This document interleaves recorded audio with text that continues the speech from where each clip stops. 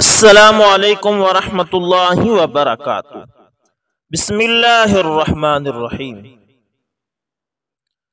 حضرت مفتی شفیع صاحب رحمۃ اللہ تعالی اور خدمت خلق۔ حضرت نے ایک واقعہ سنایا کہ میں دیوبند میں ایک دن فجر کی نماز کے لیے جا رہا تھا۔ سامنے ایک بہت ہی ضعیف بڑی بی بی کو دیکھا۔ جو پانی کا گھڑا کنویں سے بھر کر لا رہی تھی۔ مگر اٹھانا دوبر ہو رہا تھا۔ با مشکل چند قدم چل کر زمین پر بیٹھ جاتی تھی۔ حضرت مفتی شفیع عثمانی رحمت اللہ تعالی فرماتے ہیں کہ مجھ سے دیکھا نہ گیا۔ پاس جا کر کہا، لاؤ ماں، یہ گھڑا تمہارے گھر میں پہنچا دیتا ہوں۔ یہ کہہ کر میں نے گھڑا اٹھا لیا۔ وہ جلاہوں کے محلے میں رہتی تھی اور اسی برادری سے تعلق رکھتی تھی۔ جب میں گھڑا بی بی کے گھر میں رکھ کر بہر نکلا تو وہ نہایت لجاجت اور الحا کے ساتھ دعائیں دینے لگی جو مجھے کافی آگے تک سنائی دیتی رہی۔ اگلے دن پھر اسی وقت اسی حالت میں ملی۔ میں نے گھڑا اٹھا کر ان کے گھر پہنچا دیا۔ واپسی پر دور تک پھر ان کی دعائیں سنتا رہا۔ میں نے یہ سوچ کر کہ یہ سودا تو بڑا سستا ہے کہ چند منٹ کی محنت پر اتنی دعائیں ملتی ہیں۔ میں نے روز کا یہی معمول بنا لیا۔ بڑی بی بی بھی اس کی عادی ہو گئی۔ اب میں کنویں پر ہی پہنچنے کی کوشش کرتا تھا تاکہ انہیں ڈول بھی کھینچنا نہ پڑے۔ بحمد اللہ یہ معمول عرصہ دراز تک جاری رہا۔ یہاں تک کہ بڑی بی بی نے ہی آنا چھوڑ دیا۔ شاید ان کا انتقال ہو گیا تھا۔ پھر فرمایا کہ یہ واقعہ بھی آج پہلی بار تم ہی کو بتا رہا ہوں، تاکہ تم بھی کچھ اس سے سبق حاصل کرو۔ مولانا ظفر حسین کاندھیلوی رحمہ اللہ اور خدمت خلق۔ دوستو، ایک مرتبہ مولانا مظفر حسین کاندھیلوی رحمہ اللہ کہیں تشریف لے جا رہے تھے۔ راستے میں ایک بوڑا ملا جو بوجھ لیے جا رہا تھا۔ بوجھ کسی قدر زیادہ تھا، اس وجہ سے مشکل سے چلتا تھا۔ مولوی مظفر حسین صاحب نے جب یہ حال دیکھا تو آپ نے اس سے وہ بوجھ لے لیا اور جہاں وہ جانا چاہتا تھا وہاں تک پہنچا دیا۔ اس بڈے نے ان سے پوچھا کہ آجی، تم کہاں رہتے ہو؟ انہوں نے کہا کہ بھئی میں کہندھیلوا کا رہنے والا ہوں۔ اس نے کہا، وہاں مولوی مظفر حسین بڑے ولی ہیں اور ایسے ہیں ویسے ہیں۔ غرض بہت تعریفیں کی۔ مولوی مظفر حسین نے فرمایا کہ اور تو اس میں کوئی بات نہیں ہے۔ ہاں نماز تو وہ پڑھ لیتا ہے۔ اس نے کہا، واہ میاں، ایسے بزرگ کو ایسا مت کہو۔ مولوی صاحب نے فرمایا کہ میں ٹھیک کہتا ہوں۔ وہ بڈھا ان کے سر ہو گیا۔ اتنے میں ایک اور شخص آ گیا جو مولانا مظفر حسین کاندھیلوی رحمہ اللہ کو جانتا تھا۔ اس نے اس بڈھے سے کہا، بلے ماس، مولوی مظفر حسین تو یہی ہے اس پر وہ بڈھا ان سے لپٹ کر رونے لگا۔ مولوی صاحب بھی اس کے ساتھ لپٹ کر دیر تک روتے رہے۔ اللہ اکبر حضرت سلیمان فارسی رضی اللہ تعالی عنہ اور خدمت خلق۔ دوستو، حضرت سلیمان فارسی رضی اللہ عنہ سب سے معمر صحابی ہیں۔ ایک قول کے مطابق ڈھائی سو اور دوسرے قول کے مطابق تین سو پچاس برس آپ کی عمر ہوئی ہے۔ آپ کی زندگی میں سادگی بہت غالب تھی، جو ہر زمانے میں یکساں قائم رہی۔ حد عمر فاروق رضی اللہ تعالی عنہ کے حد خلافت میں آپ مدائن کے گورنر بنائے گئے۔ امارت کے اس زمانہ میں جبکہ شان و شوکت اور خدم و حشم کے تمام لوازمات ان کے لیے مہیا ہو سکتے تھے، اس وقت بھی ان کی سادگی میں کوئی فرق نہیں آیا۔ تاریخ میں آپ کا ایک محیر العقول واقعہ ملتا ہے، جس سے آپ کی سادگی اور خدمت گزاری کا پتہ چلتا ہے۔ ملاحظہ فرمائیے۔ ایک مرتبہ شام کا ایک تاجر کچھ سامان لے کر مدائن آیا۔ تو حضرت سلیمان فارسی رضی اللہ تعالیٰ عنہ ایک آدمی کی طرح سڑکوں پر پھر رہے تھے۔ شام کا وہ تاجر انہیں مزدور سمجھا اور ان سے کہا کہ یہ گٹھری اٹھا لو۔ حضرت سلیمان فارسی رضی اللہ تعالی عنہ نے کسی تعمل اور توقف کے بغیر وہ گٹری اٹھا لی۔ یاد رہے کہ حضرت سلیمان فارسی اس وقت مدین کے گورنر تھے۔ کوئی دیر بعد مدین کے بشندوں نے انہیں بوجھ اٹھائے دیکھا تو اس شامی تاجر سے کہا کہ یہ امیر مدائن ہیں۔ اس پر وہ تاجر بہت حیران بھی ہوا اور شرمندہ بھی اور حضرت سلیمان فارسی رضی اللہ تعالی عنہ سے معذرت کے ساتھ درخواست کی کہ وہ بوجھ اتار دے۔ لیکن حضرت سلیمان فارسی رضی اللہ تعالی عنہ راضی نہ ہوئے اور فرمایا کہ میں نے ایک نیکی کی نیت کر لی ہے، اب جب تک وہ پوری نہ ہو، یہ سامان نہیں اتاروں گا۔ چنانچہ وہ سامان منزل تک پہنچا کر ہی دم لیا۔ سن پینتیس ہجری میں حضرت عثمان غنی رضی اللہ تعالی عنہ کے دور خلافت میں آپ کی وفات ہوئی۔ حدثنا ثابت قال كان سلمان أميرا على المدائن فجاء رجل من أهل الشام من بني تميم من الله معه حمل تين وعلى سلمان أن دردوه وعباءة فقال لسلمان تعال احمل وهو لا يعرف سلمان. فحمل سلمان فرآه الناس فعرفوه فقالوا هذا الأمير. قال، لم أعرفك. فقال له سلمان، لا، حتى أبلغ منزلك. یہ عربی کے اندر اس کی عبارت تھی۔ اللہ اکبر، یہ تھے حضرت سلیمان جنہوں نے گورنر ہوتے ہوئے بھی لوگوں کی خدمت کی۔ آج کوئی ایسا گورنر ہے؟ حضرت مدنی رحمت اللہ تعالی کا مشہور کیمونسٹ لیڈر کے پاؤں دبانا۔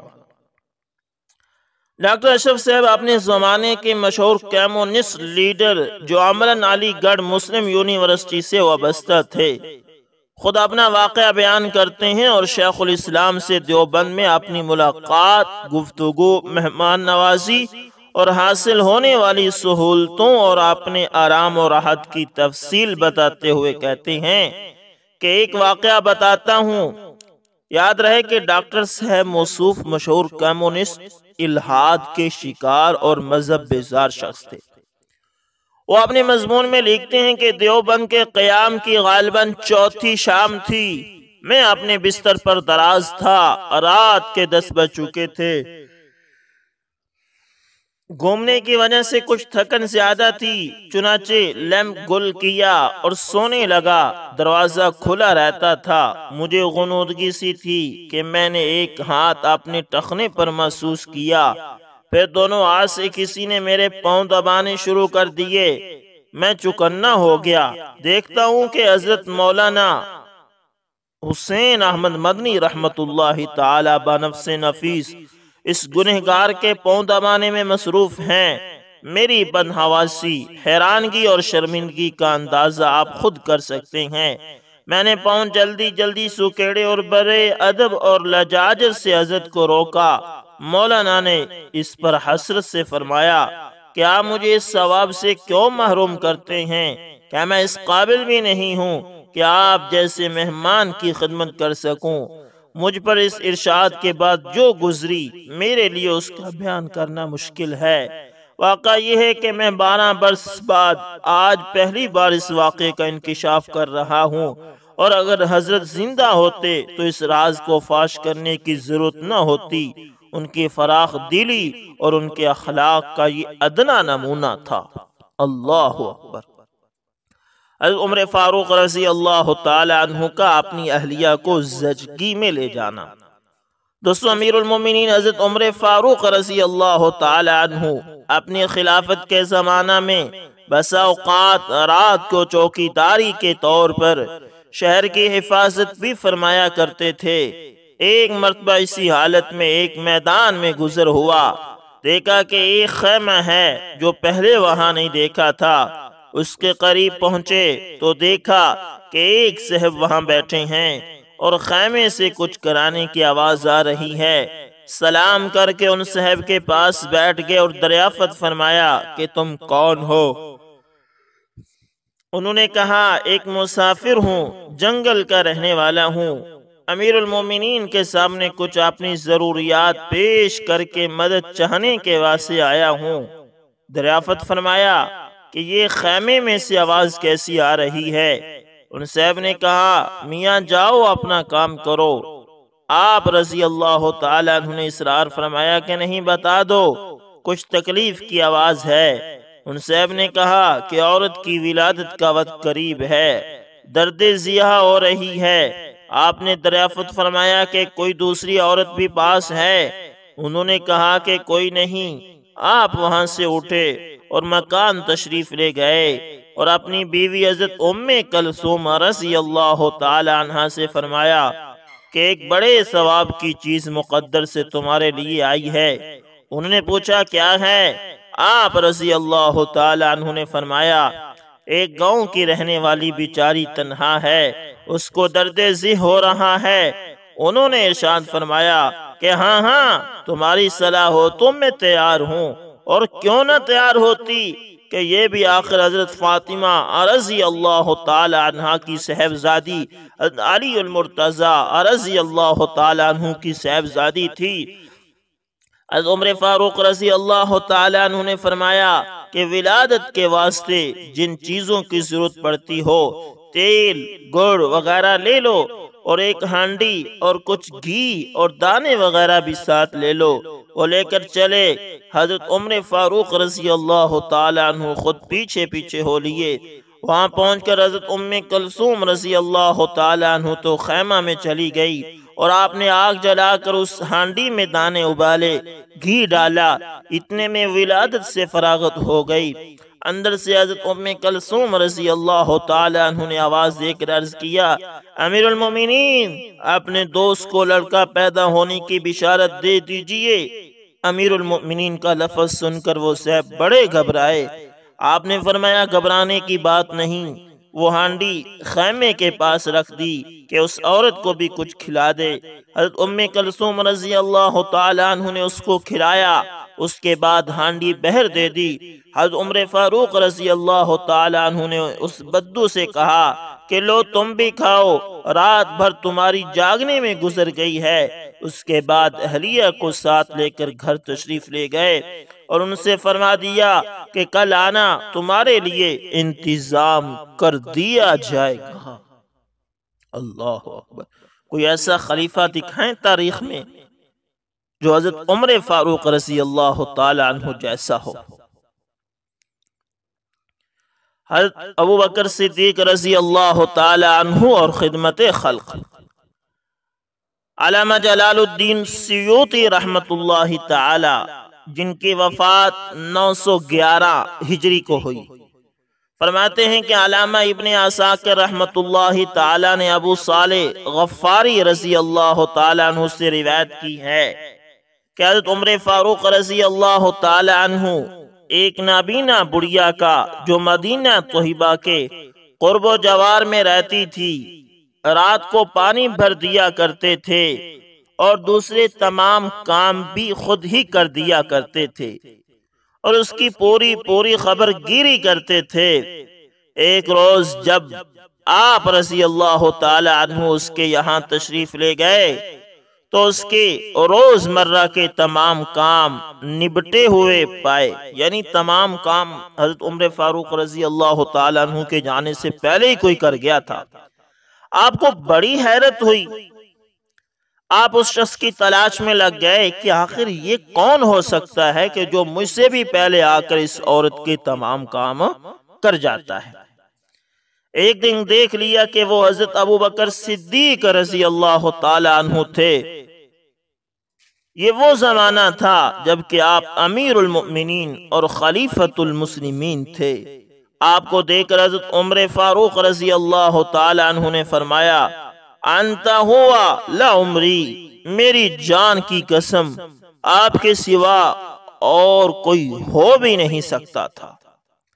یعنی صحابہ کرام رضوان اللہ علیہ مجمعین ایسے کام چھپ چھپ کر کرتے تھے لوگوں کی خدمت چھپ چھپ کر کرتے تھے۔ اور دوستو آپ بھی کوشش کیا کریں کہ کسی نہ کسی طرح کسی کی خدمت کریں۔ ضرور یہ نہیں ہے کہ آپ اس کا کام کریں آپ اس کو جا کر حل چلوائیں یا اس کا بوجھ اٹھائیں یہ بھی خدمت ہے۔ اور یہ بھی خدمت ہے کہ آپ اس کے ساتھ اچھائی کے ساتھ پیش آ جائیں۔ کوئی اس کو مشکل ہے، آپ وہ اس کی حل کر دیں۔ وہ کہیں جا رہا ہے، آپ سواری پر ہیں تو اس کو ساتھ بٹھا لیں۔ کھانا نہیں ہے تو کھانا دے دیں۔ اس کو ساتھ نماز کے لیے لے کر جانا یہ بھی خدمت ہے۔ اس کو دین کی دعوت دینا یہ بھی خدمت ہے۔ یعنی کسی نہ کسی طرح اپنے مسلمان بھائی کو نفع پہنچانا۔ آپ صلی اللہ علیہ وسلم نے فرمایا، خیر الناس من ينفع الناس۔ او کما قال علیہ السلام کہ لوگوں میں سے بہترین شخص وہ ہے جو لوگوں کو نفع پہنچائے۔ تو دوستو، نفع کسی طرح بھی ہو سکتا ہے۔ نفع کی شکل مخصوص نہیں ہے، آپ کسی طرح بھی کسی کو نفع پہنچا سکتے ہیں۔ اگر وہ پیاس ہے تو آپ اس کو پانی پلا دیں۔ یہ خدمت میں بھی آئے گا اور اس کی صحت کے نفع میں بھی آئے گا۔ تو امید کرتا ہوں ویڈیو اچھی لگی ہوگی، پسند ہے تو لائک، شیئر کومنٹ لازمی کریں۔ تو ملتے ہیں کسی نیکس اچھی سی ویڈیو کے اندر دوستو، تب تک کے لیے اللہ حافظ۔